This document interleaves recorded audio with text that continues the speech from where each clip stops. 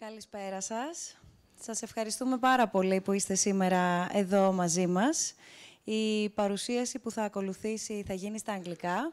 Όσοι δεν έχετε προμηθευτεί και χρειάζεστε, μπορείτε να παραλάβετε τα μηχανήματα μετάφρασης. Θα μου επιτρέψετε να, να καλωσορίσω τον προσκεκλημένο μας στα αγγλικά. Είναι πολύ μεγάλη η χαρά και η τιμή. Matt Winkler. It is with great pleasure that I present you, Mark Matt Winkler, uh, co-founder and editor-in-chief emeritus of Bloomberg News, who honors us today.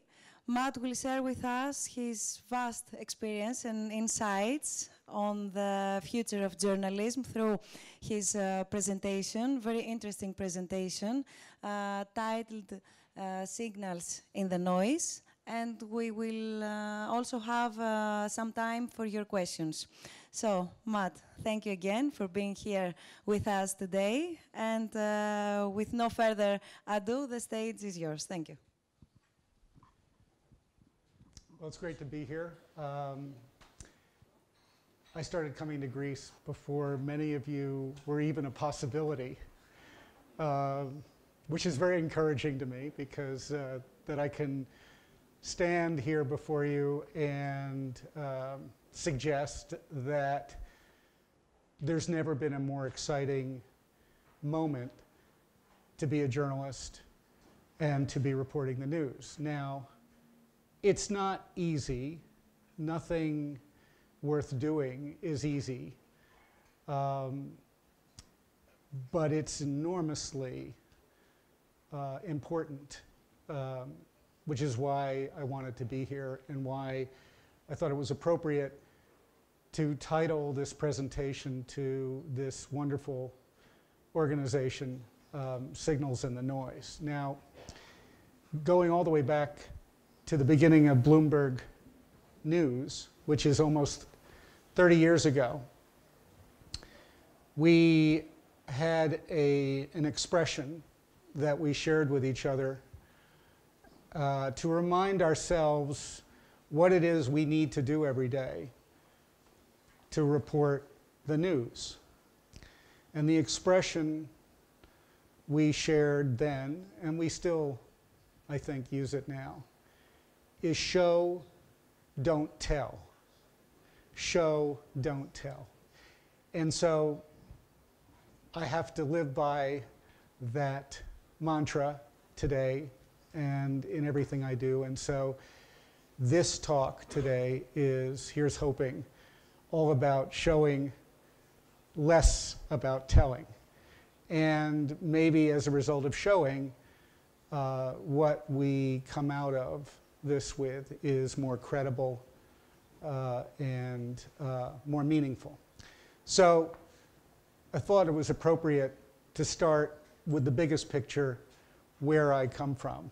Um, and where I come from is uh, the United States. And I want to take you back to uh, 2016, which, as you all know now, was a momentous year. Um, just as a reminder, it was the year that uh, surprised everyone with something called Brexit. And remember, the people in Britain, Great Britain, were all excited about what they thought was going to be Grexit, which never happened, of course. Uh, we'll get to that, by the way, before uh, our time is done here. Uh, but it started with Brexit.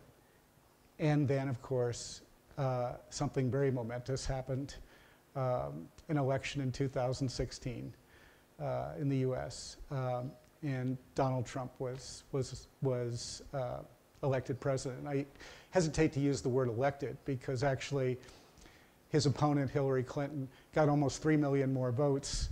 Uh, and if, this were, if we were a parliamentary uh, democracy in the US, uh, he would not be uh, the president. But that's a whole other issue. I just want to take you back to that year, 2016. And by way of reference, the last time I was here in Athens uh, happened to be 2013, and it was not a very pleasant year. Many of you can recall that year. Um, the streets outside this window were not calm, um, just the opposite. Um, I actually have a piece of, uh, I think it's marble actually, that was thrown through our window not too far from here um, around that time. But anyway, 2016 in the US um, had a presidential election underway. And at the beginning of that year, it became clear that the race, uh, the political race, was going to be between Donald Trump. And we were waiting to see what the outcome would be in the Democratic primary, Hillary Clinton and uh, Bernie Sanders. There was, among all three candidates, an acknowledgement that somehow the economy wasn't working effectively. The US economy wasn't, wasn't working.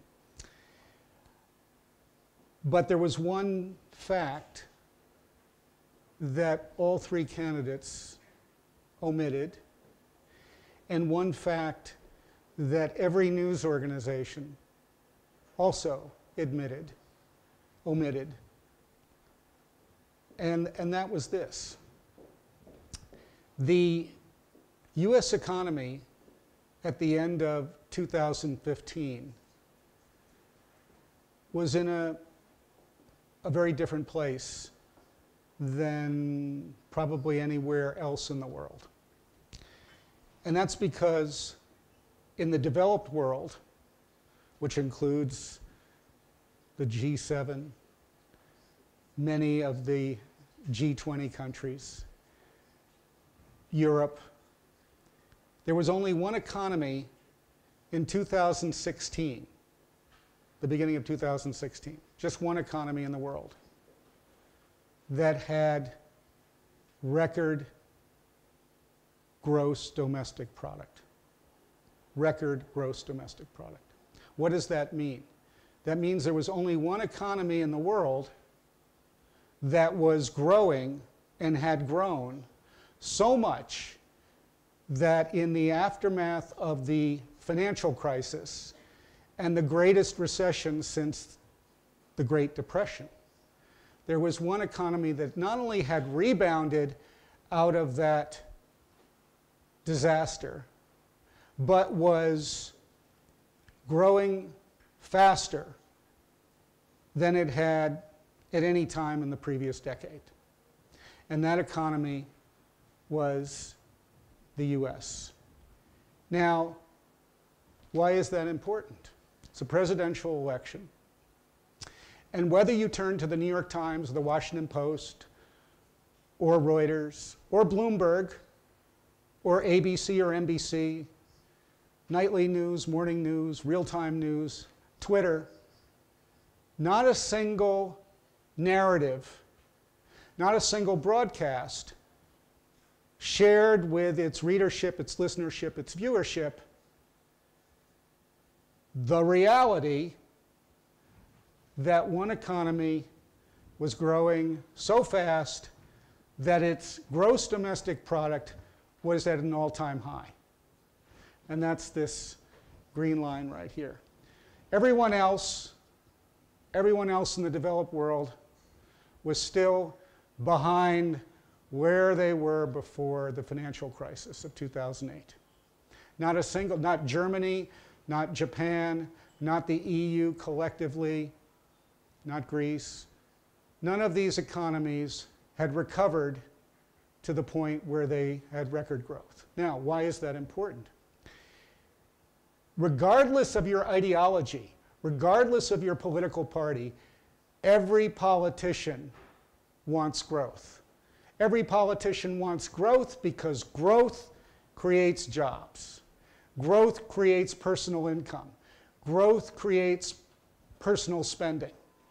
And in the biggest economy of, the all, of them all, in the most important economy in the world, the most important signal, the most important fact, record growth, was missing in everybody's narrative.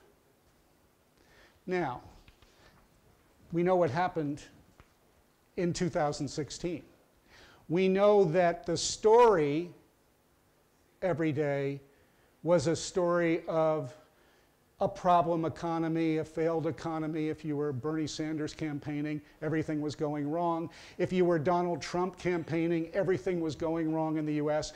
And if you were Hillary Clinton, you didn't want to remind people who were less fortunate than you that things actually were going pretty well. And the person who could have taken credit for that was leaving office anyway, President Obama.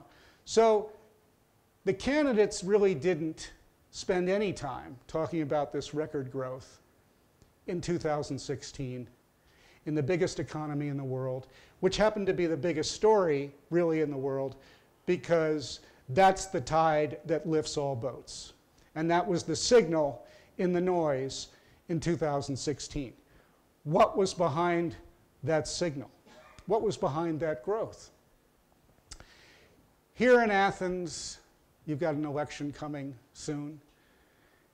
And everyone is talking about, doesn't matter which party, investment. We need investment. The more investment we have, the more growth we will have. And it doesn't matter whether you're on the left or the right, everybody agrees it's all about investment. So, what was driving that record growth of 2016 in the US? Something called research and development. Research and development. At the end of 2008, if you looked at the 500 largest companies in the world, publicly traded companies in the world, only two of the 10 largest of those companies in 2008, which was the depth, if you will, of the recession. It was really the last quarter of 2008 and the first two of 2009 where the US lost, lost record GDP, contraction.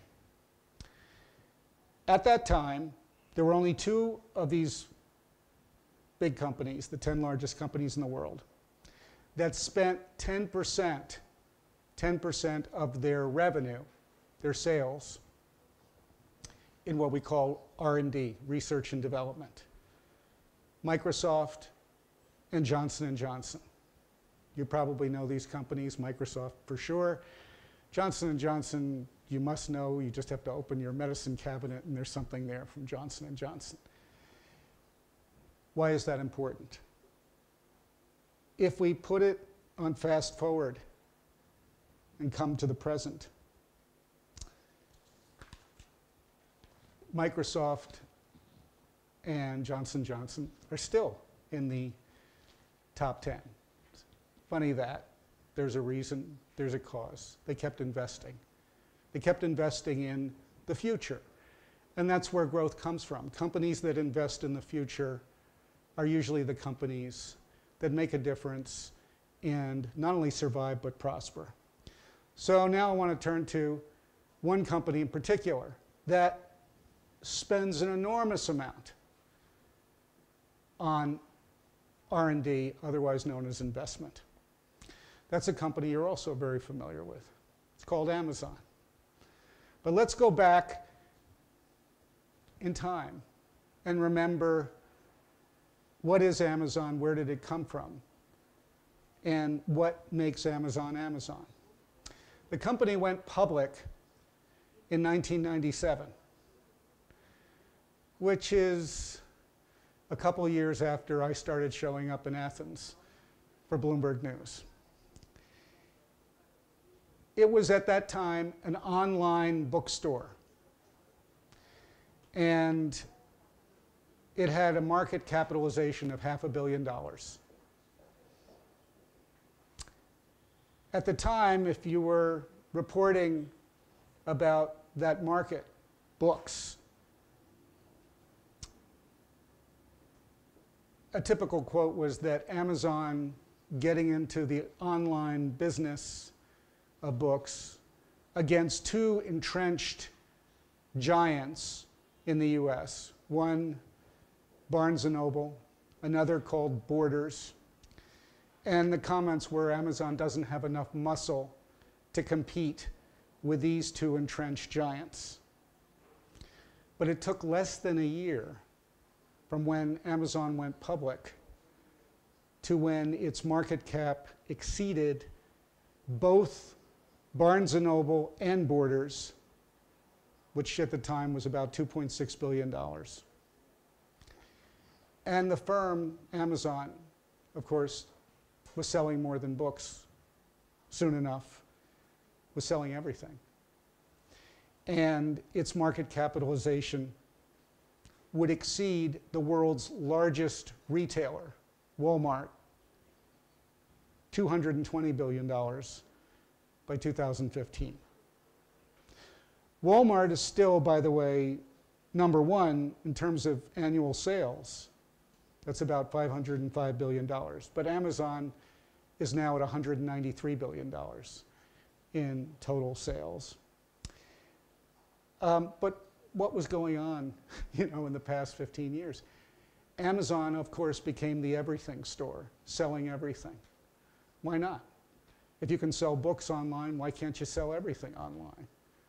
And if you can sell everything online, you are making it more efficient for your consumer, wherever your consumer is, to buy anything. And in the process of doing so, you're not just a retailer, you're also a logistics company. You're also a software company. In fact, you're many companies rolled into one. That was Amazon. And it, Amazon wasn't just thinking about one thing in particular, it was thinking about many things all the time. A day didn't stop where Amazon didn't consider something else. Maybe 20 other, if you will, projects at any given time on the assumption that one of them, one of them, and all it would take would be one, could turn out to be a breakthrough in its business. And that's what investment is all about. That's what R&D is all about. It took a long time for my profession, your profession, to figure out what Amazon was about. Why? Because by conventional standards, from quarter to quarter, it didn't make any money. It didn't have any profit. We all measure success by P&L.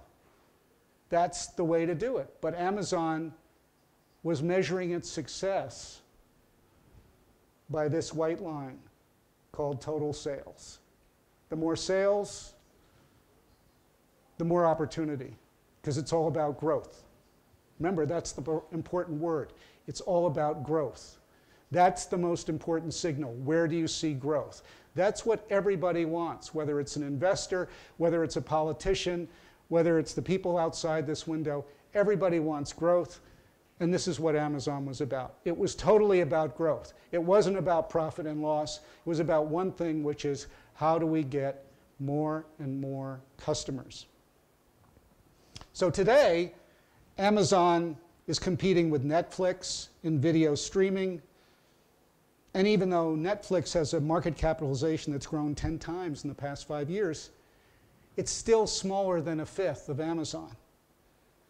Um, Amazon is competing with United Parcel Service, delivering packages every day.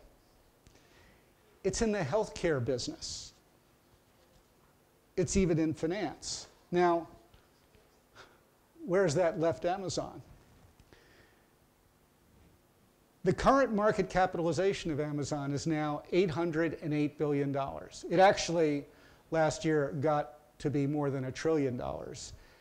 Um, but the point here is Amazon is still, it's the orange line, is still the size of six companies combined in different industries. Barnes & Noble, Walmart, IBM, Oracle, Netflix, and UPS. Those are all different industries, and one company is in every one of them because it's thinking about the future. It's thinking about investment and it's thinking about growth. That's a very big signal. This, the company spends eight to 10 years to research new products. So that's an example of why they're always thinking ahead. Now, what's their end market? It's something like 16% of the global gross domestic product, including China. And if we were to try to put that in context, where is Amazon today? It's maybe on the third floor of the Empire State Building. That's the gap that's in front of it for opportunity. What else is Amazon doing? Hiring a lot of people. As of September 2018, 613,000 jobs have been created. 613,000 jobs have been created since it went public in 1997. So what is the meaning of that? Um, you know, companies disclose different sets of information at different times, but if we looked at Walmart, Hon Hai, Volkswagen, and the Compass Group, those are the only companies in the world that have more employees than Amazon. That's how big Amazon is. But going back to 1997, as I said, the prospectus from the initial sale of shares, May 14th, 1997, said the online bookseller may never make any money and that its operating costs were greater than Barnes & Noble and Borders Group. And by the way, in the first month of trading, the shares declined 19%. And as I said, uh, one of our um, analysts at the time a fellow by the name of Steve Zenker said to us in May 1997, I just don't see how they're going to have the muscle to pull this off. That was 1997. Okay, let's put it on fast forward. Amazon isn't the only example of this. And Amazon, in its early years, was as controversial with news people, especially in the United States, as any company could be because most of us, because it didn't have a P and L, well, it had L, it didn't have P, um, didn't believe it. Because um, we were perhaps missing the signal. So, is there perhaps another example like Amazon right now where most of us don't believe it? Yeah. It's a car company. Maybe it's more than that. It's called Tesla. And most of us write about its CEO. He was the chairman until he got into trouble with the SEC, and they said, You can't do that anymore because you Twitter too much and uh, smoke too much weed. So uh, he's still the CEO. But he's the CEO of the only company in the world that has managed to convince all the other companies, there are 44 automobile companies in the world, convince them that the future is zero emission. Everybody talks about climate change, but until 2010, when Tesla introduced its vehicle, the Model S, it had already made a sports car called the Roadster that was all EV. But until 2010, not a company in the world that sells automobiles said the future is zero emission. If you turn on your favorite news source today, everybody's talking about it now one way or the other. And now they're even talking about Tesla killers from everywhere. The people who make uh, the carbon product, the internal combustion engine, and that's everybody else, now says, paying lip service to Tesla, um, you know, we're going to do that too. We're going to do that too. But what did Tesla do? And why is Tesla interesting in the context of Amazon? Well, just like Amazon, Tesla, no profit. Lots of loss, no profit. If you went to Bloomberg News in um, the past year or so, Tesla's perceived failings include burning through cash, that phrase, burning through cash. It was reported 135 times by Bloomberg News in, since 2013. There were more short sellers. Those are the people who don't believe anything, that they're going to they're going to borrow money to bet against you. That's how convinced that you're a failure. Um, there were more short sellers for Tesla than 499 companies in the Standard & Poor's 500 index. Everybody talked about management turnover, this temperamental leader. Um, last November, right about the, the time of our national Thanksgiving holiday, um, the Washington Post called Elon Musk a double turkey. And that's because we usually eat turkey on Thanksgiving. Um, and as I mentioned, the SEC uh, is still battling him over his, his tweets. But a funny thing happened since 2010, and that, that's when Tesla went public. Um, with all of that noise, burning through cash, no profit, lots of loss, um, the Tesla shares produced 10 times their initial value to investors, 10 times. So if you bought Tesla shares in 2010, even with all that noise I just described, you were 10 times wealthier. That's growth. None of the 50 largest automakers can beat the performance of Tesla in that period. None of them. None of them have anything close to that performance in valuation. Now you might ask, why? How is this possible? How is it possible that this company, the only company that's making a product going entirely against the industry worldwide,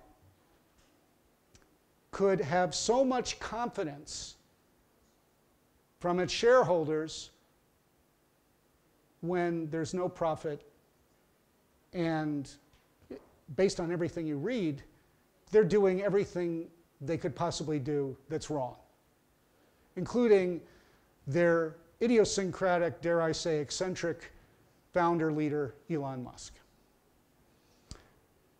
But there is a signal here a very important signal. It's called growth. That word will keep coming back again and again today, this afternoon.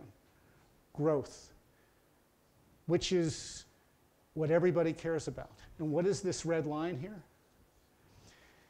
This is the growth of Tesla sales, of people in the US people in Europe, people in the Pacific Rim, people in Asia, people everywhere in the world deciding to invest in the future and buy zero emission vehicles because they can. Because they can. And this line here, this red line, is that growth. Um, Tesla's most quarterly revenue of, of $6.8 billion is more than 200 times its quarterly sales during the IPO year. Um, the rest of the car industry is right here. That's their growth, which is no growth. See this flat line here? Looks like somebody had a heart attack, doesn't it? Um, that's the rest of the, that's the world automobile industry. So what got in the face of all this journalism about Tesla doing things wrong, is this one signal of Tesla growing. Growing because people like the product. And, and they like the product so much that investors said if they like the product so much, no matter what anybody says on nightly news, morning news, anybody's news, that's the signal for me. That's the signal in the noise. Okay, we're in Greece now. Favorite destination for me. Should be a favorite destination for the world, and I like to think it is, by the way, uh, even if recent news over the past decade hasn't been as favorable as it might have been or should be. But there is some good news. Actually, there's some news, whether you call it good or not. It's news, it's big news. Last month, as I was looking at my Bloomberg terminal with some of my colleagues, I saw an item that said that Greece, country of 10 million people, sold some bonds. The first 10 year bonds Greece has sold in nine years. And of course, that would get my attention. Um, and by the way, it got the attention of somebody who's indispensable to me and to Bloomberg, who was kind enough to share all these wonderful data sets. Pei, my colleague, who's right over here. So, uh, you know, I just want you to know that um, this, you know, I'm not the Wizard of Oz here. Uh, there really is uh, something very intelligent behind the curtain. Um, and uh, we can't be with you today unless we're showing you exactly what, what we see and why we see it. So we're looking at this, it's sort of a bulletin from our Athens Bureau um, that says Greece is selling this debt. And um, what caught our attention was a number of things. The price of these securities, which are due in 2029, was very high. How high? They originally priced to yield 3.9%. Now, just put that in perspective. The price, this is 2019, March. The price of 10 year bonds, Greece, price to yield 3.9%. And by the way, that was a lot better than the initial target of 4.13%. But why was this amazing news? I mean, like, incredible news. Incredible news. Why? Because if you go back to that dark year of 2013, when I was here last, and even the year before it, 2012, the yield on very similar bonds due in 10 years was 30%. 30%, 3 0. And now, March, day one, it's 3.9. But it changes. Those bonds go up in price for seven consecutive days. Those bonds from Greece go up every single day for the next seven days to the extent that the investors who wanted those bonds, it was 4.7 times the issue size. Okay, that's how much demand there was. There was so much demand that the yield on this Greek debt is the lowest in 13 years. The yield on this Greek debt was the lowest in 13 years. There were some outstanding Greek bonds and they fell to 3.4% April 10th. So it got even better. By the way, this was 2012. This is where we are today. Oh, sorry, this was the financial crisis. No, no, this is 2012. This is when it was 30%.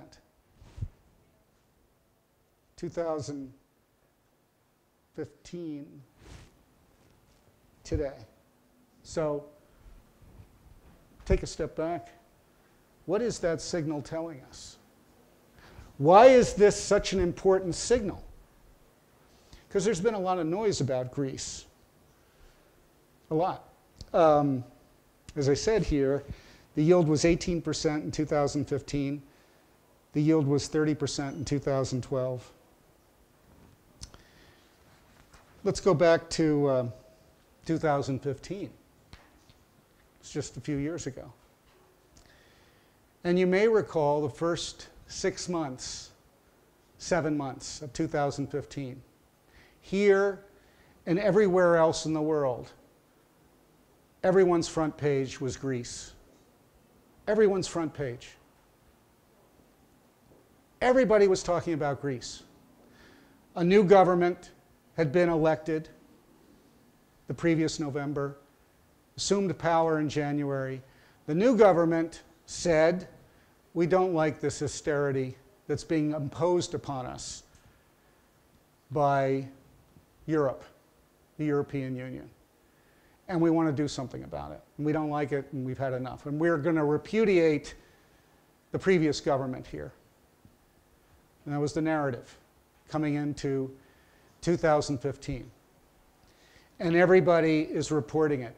Because if you didn't look at this too carefully, you might think Greece was poised to leave the euro and even default because this new government, if you didn't pay too close attention, was suggesting that it was not going to cooperate. And that was the storyline. And it got louder whether you were reading the Wall Street Journal or the Financial Times or Bloomberg or the Washington Post or the New York Times or BBC or NBC or ABC. It got louder and louder when we interviewed Alan Greenspan, the former chairman of the Federal Reserve, arguably the most important financial institution in the world because it sets interest rates for everybody because the dollar is the reserve currency, he said, it's only a matter of time before Greece leaves the euro and defaults. He said that. Smart guy. Another smart person, George Soros, totally different from Alan Greenspan, said to us a month later Greece is going down the drain. Of course, these are important people, and what they said got reported again and again and again. There was some anxiety there was some anxiety. The yield did creep up to almost 19% by July of 2015, but that was still below the high 2012, April, when Greek debt was yielding 30%. That was the that was we now can see here the worst moment of the crisis. 2012, April. Um, why is this such an important signal? Well, this, the smartest people in the world, as it turns out, were paying very close attention to Greece and have been for some time now. Literally since 2012. So, at least seven years smartest people in the world. They're in Canada, they're in France, they're in Belgium, they're in Austria, they're in the US, right near where I live, Newark, New Jersey. And what were they doing since 2012, and especially since 2015? They were buying every Greek bond they could get their hands on.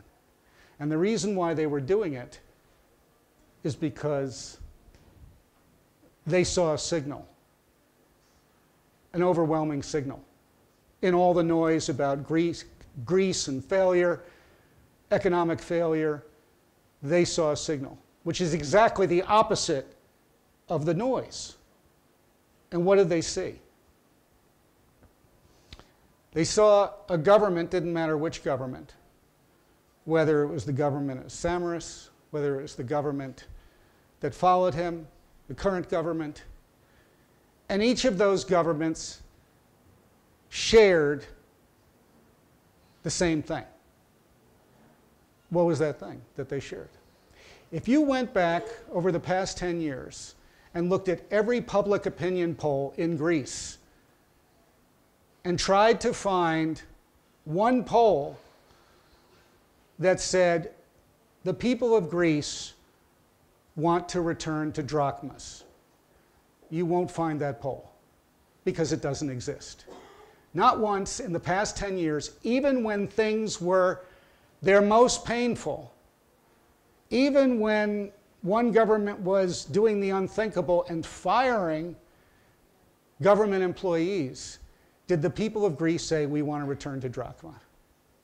So investors around the world looked at that and said, they're not going to leave the euro because they don't have a preference for drachma. And if they're not going to leave the euro, they're not going to default. And if they're not going to default, these bonds are the best investment in the world. In fact, they were in 2015. And since 2015, if you bought Greek bonds, you made a total return of 231%. That's better than any stock market. It's better than any commodity market, better than any art market. It's the best investment going. Greek bonds. And if you looked around the world, by contrast, any sovereign debt market, Germany, France, the US, nothing comparable.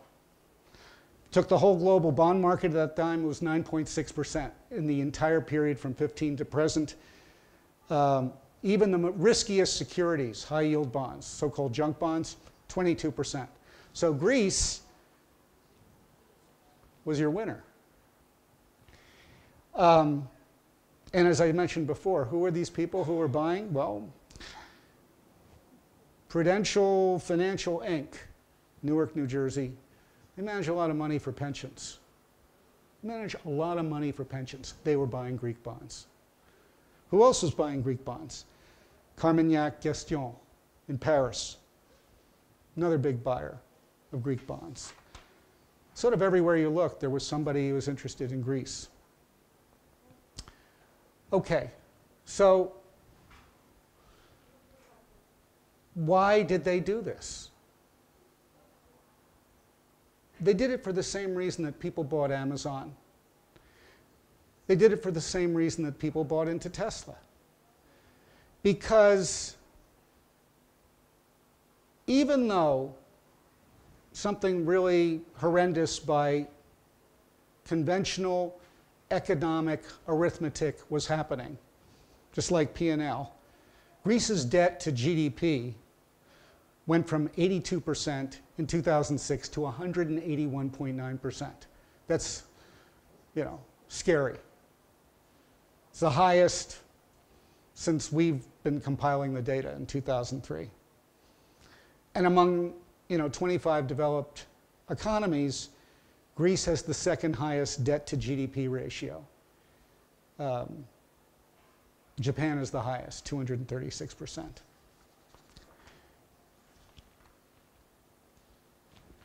But there's another signal that kind of offsets that signal. When you look at the resolution of the debt crisis in Greece and what happened, what happened in 2015? What was the deal? Why did the bond market, of all things, keep rallying? Why did investors get more and more confident about Greece in particular since 2015 and stay confident right to this moment? Well, one reason is that deal with Europe, with those awful people in Europe who were dictating terms and everything. Actually, the terms that were imposed on Greece, the big one was all that debt has an average weighted maturity of more than a quarter century 26 years. That means, you know, put yourself in the position of Greece. You have all this debt, but you don't have to pay it back for a quarter of a century. Now, you have a lot of time to do a lot of things, but you don't have to worry about paying back the principal on your loan for 26 years. Now, why is that so significant? Spain and Italy have only seven years, by contrast. Portugal has 10. So, Greece, among the so called casualties of the financial crisis and the depression that followed here, came out of it financially with amazingly good terms from its friends, its friends in the EU. And that's why these governments are still doing business in the EU. That's why Greece still very much is part of the EU. And the place that probably created the most noise about Brexit, which was the UK, is now Brexit. And very few people saw that coming. So, what happened? What's happening? You know, since the beginning of the century, nobody is growing, nobody is growing as fast as they were in the early years, 2000. The white line you see in front of you is Greece, however. And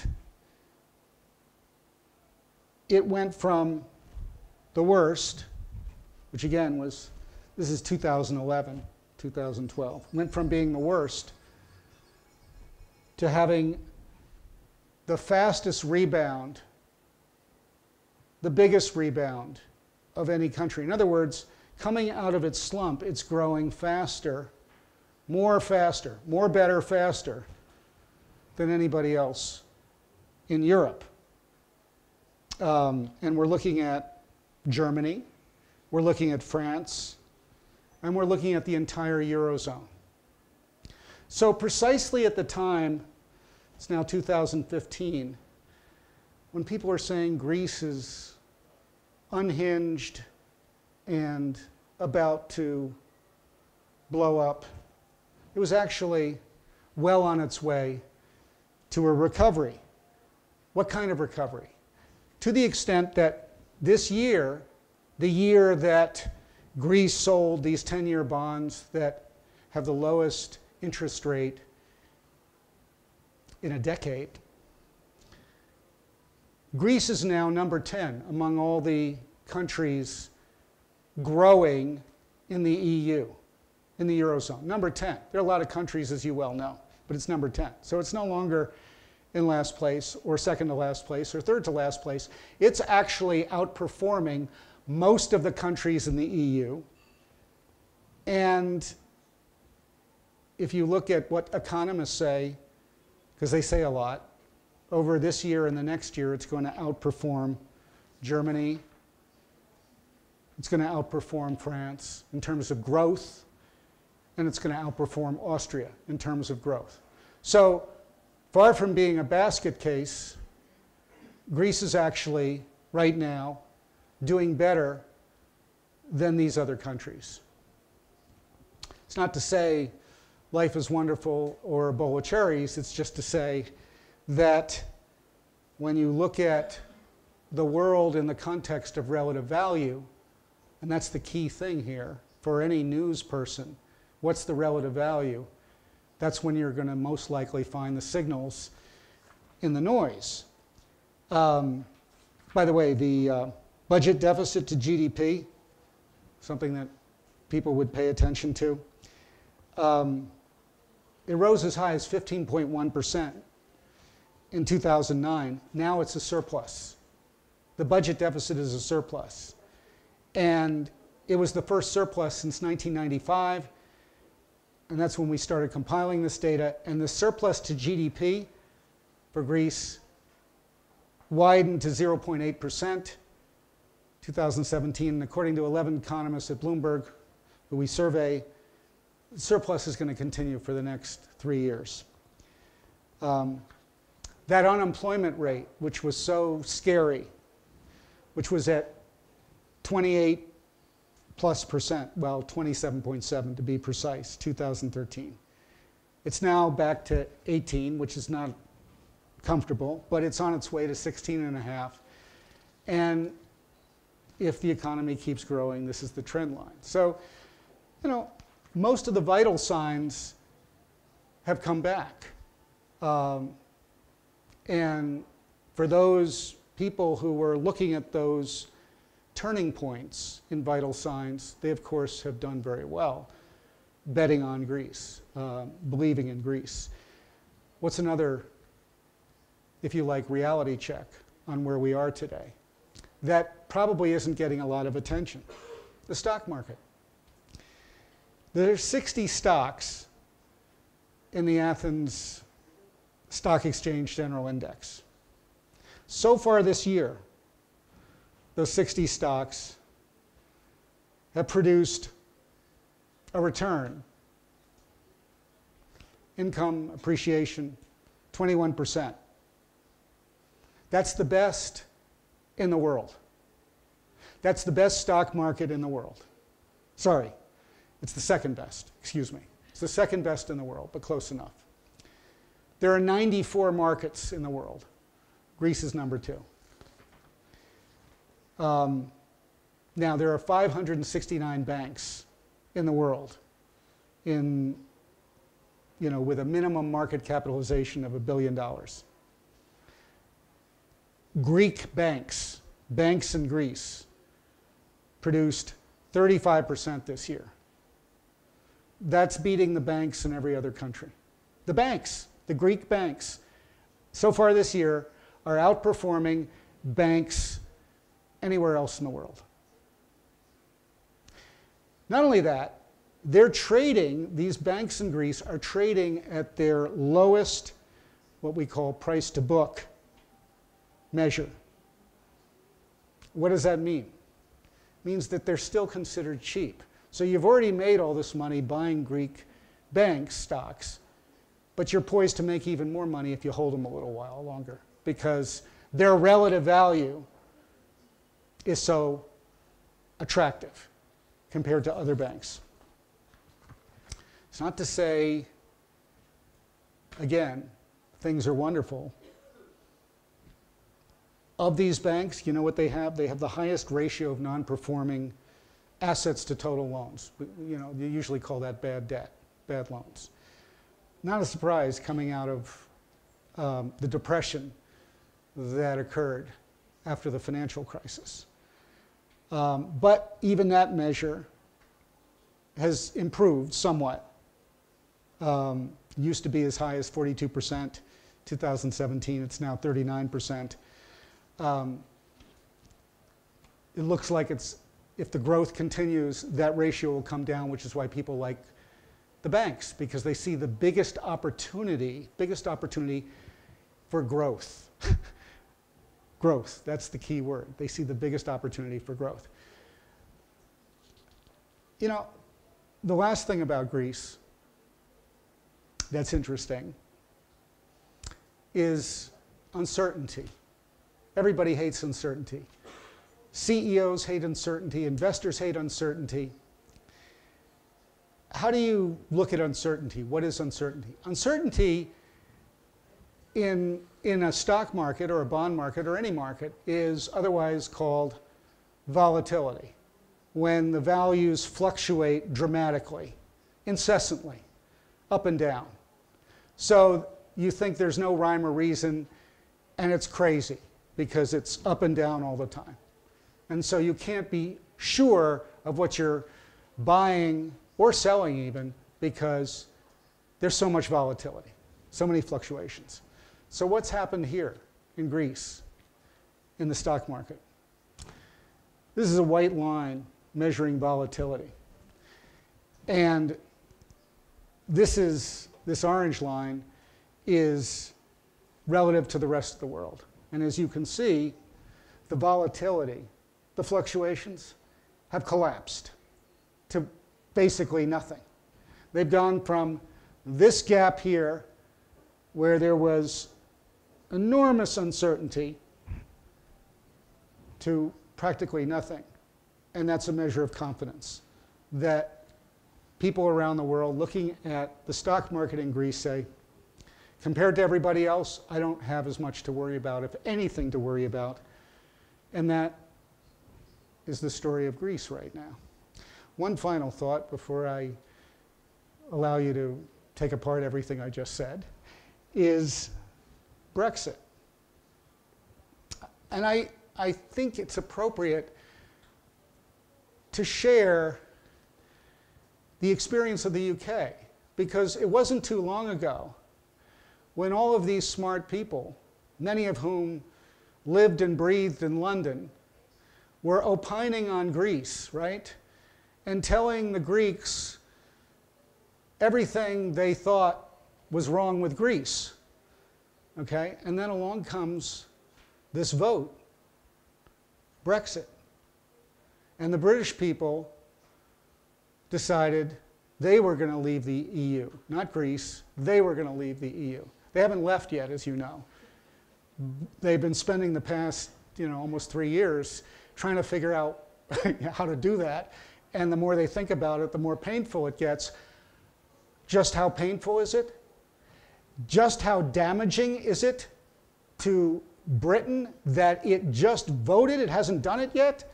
Well, the first thing is the pound. And since the pound is no longer the world's reserve currency, when the pound fluctuates, it matters a great deal to everybody, especially to the central bank, because losing 10% on your currency, and by the way, that happened literally in seconds, and it hasn't been recovered in three years, is that the pound went from 140 to 130 as soon as people realized Brexit was the outcome. But something else has happened since then, um, and that is the GDP growth for Britain has plunged, and it's now underperforming the 20 year average for Great Britain. And they haven't even left yet, and they're already in a bad place economically just because of that decision to leave the euro economy, the eurozone. That's enough for now. Thank you very much.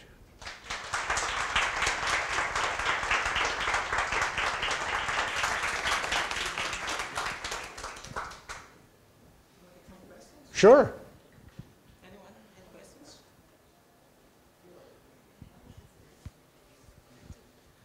Hello, my name is uh, Panos Papoulias and I work for the Stavros Niarchos Foundation.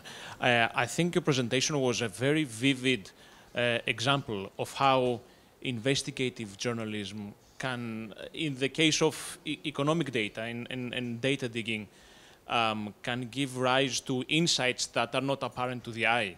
Do you think the values and the training that um, allow for such insights in economic journalism are similar to the values and training that one might have in, in a journalist might have in covering issues of a more social nature or a you know, different type of journalism? So I love the question because it says, what I showed, what we showed today, um, is it something that's really applicable to the entire profession of journalism um, everywhere, and not just for people like me um, at Bloomberg? And the answer, I would say, is emphatically yes.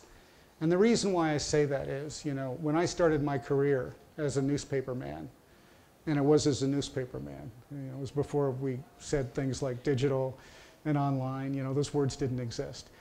And in fact, before I was even using an electric typewriter. I was using a manual typewriter, and most people in this room don't even know what a manual typewriter is.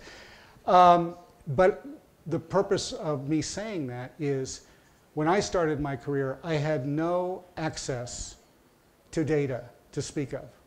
In other words, I had no access to this enormous reservoir of facts, which is data. So if I wanted to know something beyond what somebody told me, you know, because they would tell me things and I would write it down in a notebook, and then I would share what was said and what I saw, said and done, in my reporting. It was very um, limited, to say the least, what I did back then.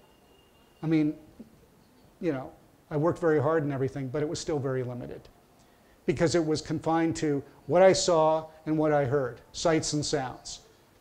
And that is pretty much what journalism has been for centuries. Today, in the 21st century, we all have access to unlimited data. Now, as we well know, we're also dealing with this giant clash between information and misinformation. And we have to figure out how to separate the two and find the information. But we can do that. We're smart enough, we're persistent enough, we're courageous enough. We can find we can find the signals and the noise, and the signals and the noise is the data. All kinds of data that exists everywhere that is instantly a reality check on whatever assumptions we're encountering. And as long as we're disciplined enough to search the data, find the data, be able to ask the right questions. What we can produce in our reporting is so much more comprehensive and definitive than anything that was possible, you know, when I started my career. Even as a reporter at the Wall Street Journal, which I thought was, the, you know, the pinnacle of journalism in 1980 when, you know, I was making my way uh, and in 1982, when I started in London as a reporter, and you know, I thought I was, you know, at the top. And it doesn't begin, doesn't begin to come close to what we can, all of us can do today as journalists because of the data that is at our disposal. We just know how to use it. And, and believe me, that's where we need to go if we want to find the signals in all the noise. Because it's real easy for any of us to report what people say, right? And some people say a lot all the time, right? And, and almost all of what they say is not true all the time. So our job is, is to, in the face of all that noise, find these signals. And the signals is the data. The data is accessible. Yes, a lot of it's available on Bloomberg. We wouldn't be in business if it wasn't, but it's also available many other places. So yeah, the answer to your question is yeah. In the back, I see a hand. Hi, my name's Omaira Gill. I'm a business reporter from Acropolis. Um, it was very interesting, the numbers which you showed, which compare how Greece has been growing to other economies in the world. Um, for me, it was very interesting personally because I deal with these numbers, but just in the context of Greece, so the contrast was quite impressive. I'm just wondering, um, do these numbers take into account the low baselines which Greece is starting from, considering we lost so much GDP, uh, nearly 27%? And do investors take that into account when they're seeing this very impressive growth in Greece? Yeah, what I showed you is what is available to everybody.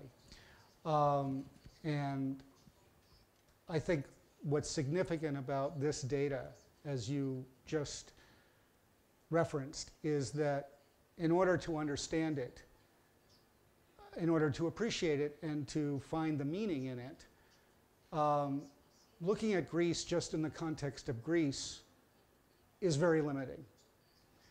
Looking at Greece in the context of the entire Eurozone is much more meaningful. How is Greece performing relative to other countries? Um, and if Greece is outperforming right now those other countries today and yesterday and tomorrow, um, that's a trend. And that's what investors actually pay attention to and economists pay attention, we all pay attention to what's the trend.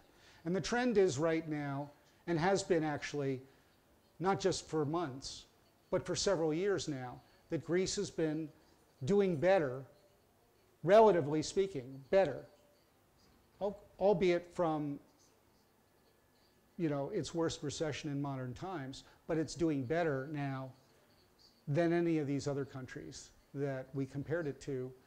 Um, and that is what gets people excited, you know, because investors, when they, just like with Amazon and Tesla, um, or even Microsoft or Johnson Johnson, what they get excited about is where is the growth? Where is the growth? Where is the growth coming from? How is the growth created? And it probably is encouraging to some of those people when they when they talk to politicians right now in Greece, in every party, the one thing everyone says in every party is we need more investment. We want more investment. And that's a good sign.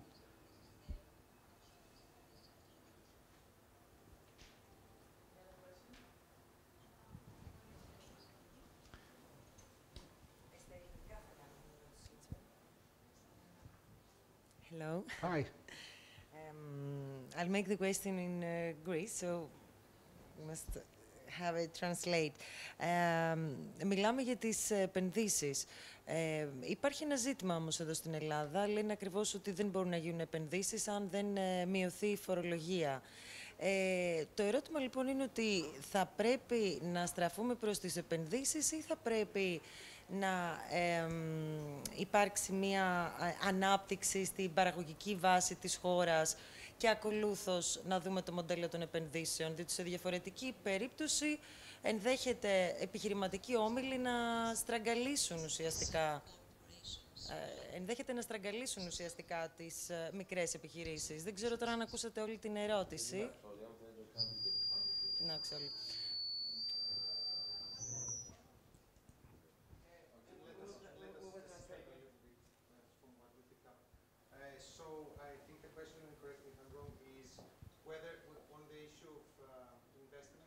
Whether, so on the, on the issue of investment, whether um, we should start, we should be uh, head first into the investment or take care of the, um, the structural reforms first, like and uh, um, lowering taxes for one, uh, and whether one or the other might mean that bigger corporations might strangle smaller, uh, you know, the, um, SMEs, etc., and whether it's the right approach to start with investment. Okay, thank you for your question. Um, it's way above my pay grade to suggest what the policy should be here. That's, um, for me, that's, you know, beyond my skill set, um, knowledge, experience. What I can say is this. What I can say is this about your question. Um, one of the biggest signals in all this wasn't just about Greece at all.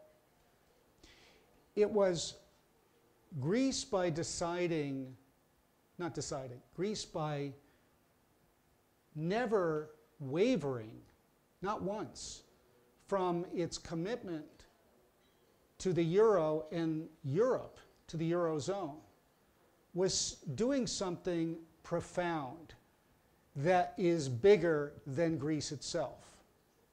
Because, you know, these people that I mentioned before, Alan Greenspan, you know, they've been saying the euro wasn't going to be around. They've been saying it for 20 years. They've been saying the euro is not going to be around. So, that a country of 10 million people never once said, we're, we're getting out and are still here. And the euro is still here. And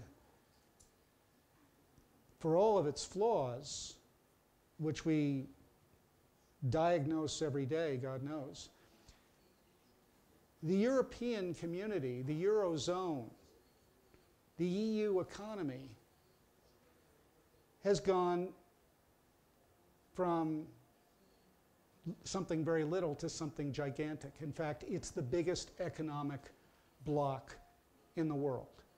The Eurozone is the biggest trading economic bloc in the world. Now, it's got lots of disparities, dichotomies, and everything else, Greece being one of them. But what's profound about the crisis is that amid all of the constant doubt about Europe and the euro, and 28 countries saying we want to be part of something that's bigger than us. That's better for us, that's better for everybody. And there are more benefits to that. And by the way, I'll take you back to when I first came to Greece, of course, it was a drachma economy. And Athens was nowhere near as prosperous when I started coming back in the 80s, 1980s, as it is today. I know that's hard to believe for many of you, but it, it was a totally different country. Today, and by the way, it didn't quite feel like it was Europe the way the UK felt like Europe, France felt like Europe, Germany felt like Europe. Greece did not feel like that. It didn't look like that. Today, it's Europe. It's Greece, but it's also Europe. And there's no mistaking that. And that's a very big thing. That's a very powerful thing. And, you know, whether the, whether the recipe for growth is some form of cutting taxes or greater investment or whatever, whatever the mix is, it's going to be a mix of something. As long as Greece is part of Europe, it's going to benefit from being part of Europe. It's going to help Greece, which is why the Greek people said, we're not leaving. No, no, matter how bad this austerity feels and is, we're not leaving because this is better than where we were in the 1980s when we were on drachmas.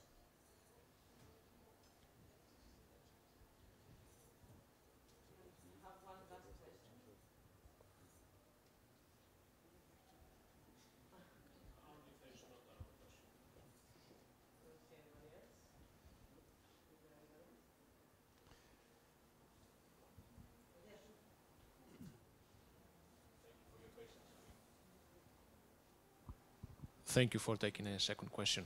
Um, you were very elaborate on how you described, you know, the, the, first years of how you worked as a journalist and how things have progressed, and that was a, a, a, testimony to the important job that journalists do nowadays. And it was clear from your presentation that a lot of hard work needs to go into, you know, distilling the, you know, the, the important information that will give you, and to to a journalist and to the readers of the journalist the, the correct idea and view about the situation. I mean, your example of the U.S. economy during the Obama years was, was very was, uh, was, was very specific. I'd like to ask a question about the readers. I mean, you know, journalists write always for someone and for something, and the readers also face the same challenge and opportunity. There is many more stories out there to read.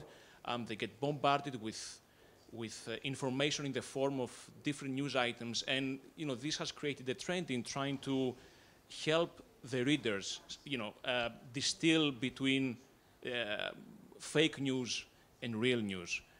It seems that being a, a journalist that filters out the noise is very hard work. How hopeful can one be about movements or initiatives that try to educate or train the reader to distill between fake news and, and thoroughly researched news? And is there is this a chimera? Is it something that we shouldn't be even looking at because it obviously takes a lot of hard work? So I love the question because, you know, what we're meant to do as journalists is not altogether different than the empirical method in science.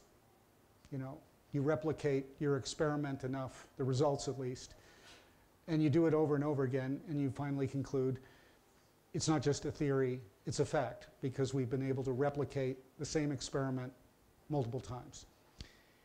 And with our ability to discern data now in an unlimited way, we are closer to science than ever before as journalists because we're doing something similar. We're looking at what we see around us, what we hear around us, and we're able to test again and again whether what we see and hear is in fact replicate. I'll give you an example. So, knowing what we know, vaccines work. Vaccinations work. Okay? We know that. If we have the vaccines, we can prevent measles. But there's a whole group of people where I come from who believe, you know, vaccines are bad. Now, the science proves overwhelmingly that vaccines are good for you and you don't have to get measles if you get a vaccine. But there are people out there who are going to insist, and that's the fake news part, that no, no, no, I'm not going to do that. And then they get the measles. So, uh, fortunately, the trial and error part is painful. But I do believe that in journalism, more so than ever before, we can be much more a part of what science is doing for the world. You know, and science is doing a great deal for the world. It's helping us live longer, better, healthier lives. Um, and journalism is very much a part of that. You know, talk about making the world a better place. Better informed citizenry, you know, is a better informed, a better world if the citizenry is better informed. And so it, it works very much together with science. Science gives me a lot of confidence um, because that's knowledge, and knowledge is something that we can all benefit from, and that's our job as journalists is to make people better informed so they can make better choices about their lives and help people. And here's hoping do more creative things and not harm anybody in the bargain. And that's what it's all about. I guess that's that's it for me. Thank you very much.